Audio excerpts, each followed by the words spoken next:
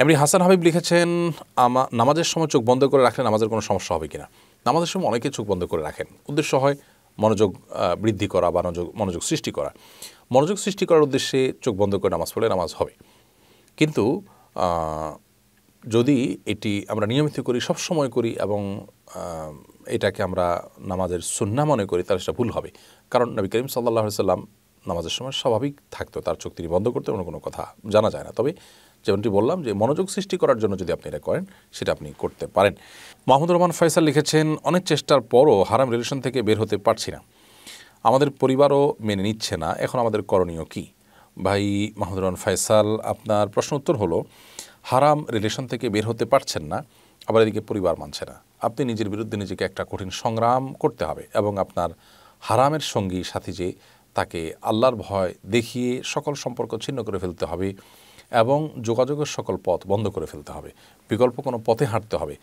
অর্থাৎ, যেহেতু আপনি পরিবারকে ম্যানেজ করতে পারছেন না এবং আপনার জন্য হয়তো সেটা উপযোগীও নয়, তাহলে সেক্ষেত্রে আমাকে জোর করেই সেটা করতে হবে এমন কোনো বাধ্যবাধকতা নেই। আর আপনি একজন প্রাপ্তবয়স্ক পুরুষ হিসাবে যদি মনে করেন যে, না, দিনের কারণে আমি সেখানে অগ্রসর হয়েছি, পরিবার যে বাধা দিচ্ছে সেটা তাদের দিনের বুঝ না থাকার কারণে, তাহলে ভিন্ন কথা। এই জন্য আপনি বিদগ্ধ কোনো আলেমের সাথে সাক্ষাৎ করে পরামর্শ করে আপনি সিদ্ধান্ত গ্রহণ করবেন।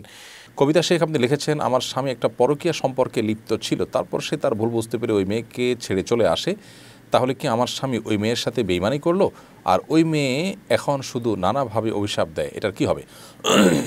আপনার স্বামী অন্যায় এবং জেনা লিপ্ত ছিল, হারাম সম্পর্কে লিপ্ত ছিল, জানতে পারার পর তিনি ফিরে এসে ভালো কাজ করেছেন। সেক্ষেত্রে ওই মেয়েকে অপারগতার কথা জানাতে হবে যে আমার আমার যে মানে হারাম সম্পর্ক ছিল, আমি আল্লাহর জন্য সেটা ত্যাগ করেছি, অন্য কিছু নয়।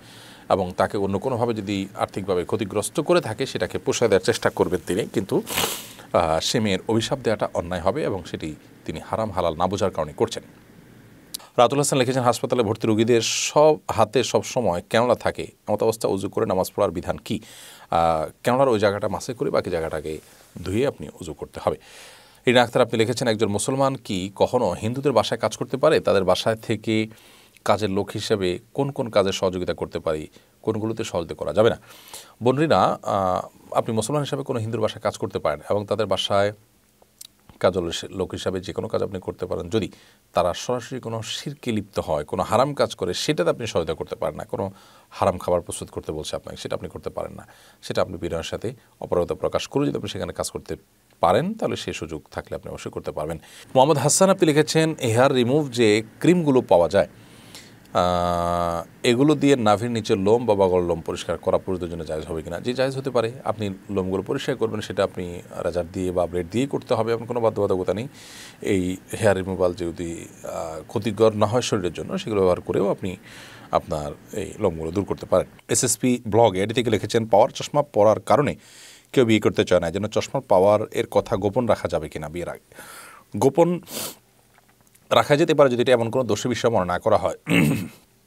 আর এটা তো অদ্ভুত কথা জানলাম যে পাওয়ারই চশমা আছে বা চোখে চশমা পাওয়ার আছে এই জন্য বিয়ে করতে চায় না। মানে এমনটি সচরাচর হওয়ার কথা নয়। এরকম একটা ফ্যামিলি থেকে না চাইবে আরও তো আল্লাহর জমিনে অন্য মানুষরা আছে। সবাই তো এরকম মেন্টালিটি হওয়ার কথা নয়। তারপরও যদি আপনার এটা রীতিমতো দোষের পর্যায়ের হয়, অর্থাৎ এত বেশি পাওয়ার থাকে যেটা আসলে, আসলেই একটু অস্বাভাবিক। তাহলে সেটা লুকানো অবশ্যই জায়জ হবে না। সেটা লুকানোটা আমার তার খেয়ানত হবে। এমনি পরাণ আপনি লিখেছেন, আমি যার সাথে কাজ করি, সে সব সময় গান শুনে এবং নামাজ পড়ে না। আমি তার সাথে কাজ করার কারণে আমারও গান শুনতে হয়। এখন আমার কি গুণা হবে? আমি কি করতে পারি?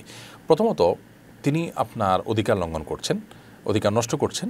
কেউ তার যদি গান শোনার অধিকার থাকে, তাহলে আমার গান না শোনারও অধিকার থাকতে পারে। তিনি হেডফোন দিয়ে তিনি শুনতে পারেন, কিন্তু তার গান আমাকে শুনতে বাধ্য করবেন, এ রাইট তার নেই। অতএব আপনি যথাযথ কর্তৃপক্ষের শরণাপন্ন হবেন, তারাও যদি আপনার সাথে অসহযোগিতা করে, তাহলে সেক্ষেত্রে সেই কর্মস্থল আপনি পরিবর্তন করে ফেলবেন। তবে আপনার চেষ্টা থাকতে হবে যাতে করে আপনি গুণা থেকে বাঁচতে পারেন এবং বেরিয়ে আসতে পারেন। এমনি মাহফুজ আহমদ, আপনি লিখেছেন সালাতুল হাজত কী কারণে পড়া যায়, কী কী কারণে পড়া যায়, দয়া করে জানাবেন। দেখুন, নবী করিম সাল্লাহ সাল্লামের সুন্না হলো খানা ইদা হাজাবাহ আমরুন ফাজা ইলা সলাহ ও ওফি রয়েতেন ওখরা কামাই কানা ইদা আমরুন সল্লাহ নবী করিম সাল্লাহ সাল্লাম যখন কোনো সমস্যার মুখোমুখি হতেন, তিনি সালাতে দাঁড়িয়ে যেতেন। তিনি সালাতের দিকে ধাবিত হয়ে যেতেন। বিধায় আপনার যে কোনো প্রয়োজন হবে, আপনি সালাতে দাঁড়িয়ে যাবেন, সালাতুল হাজত পড়বেন। এটার জন্য নির্দিষ্ট কোনো ক্রাইটেরিয়া নেই যে অমুক অমুক প্রয়োজন হলে তখন আপনি সালাতুল হাজত পড়বেন। যে কোনো প্রয়োজনে যে কোনো বিপদে যে কোনো সমস্যা যে কোনো চাওয়ায় আল্লাহ তালার কাছে আপনি সালাত আদায় করে সাহায্য কর, চাইবেন। আল্লাহ তালা বলেছেন ওস্তে আইন বিশ্বর সলাহ তোমরা আল্লাহ সাহায্য চাইবে সবর এবং সলাতের মাধ্যমে। বিধায় নামাজ পড়ে আপনি সাহায্য চাইবেন, সেটা যত ছোট বিষয় হোক অথবা যত বড় বিষয় হোক।